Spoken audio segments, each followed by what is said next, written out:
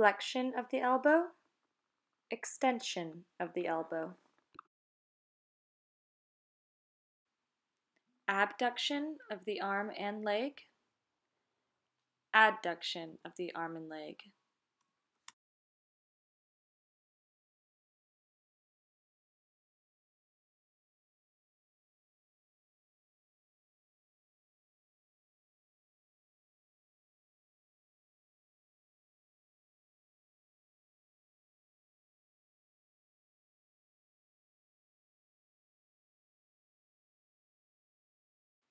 Circumduction.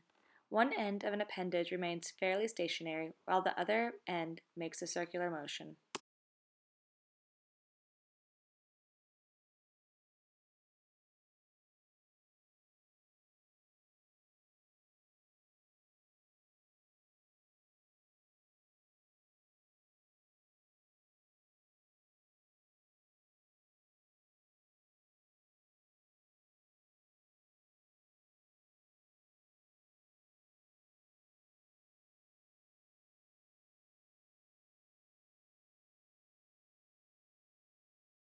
Dorsiflexion, plantar flexion.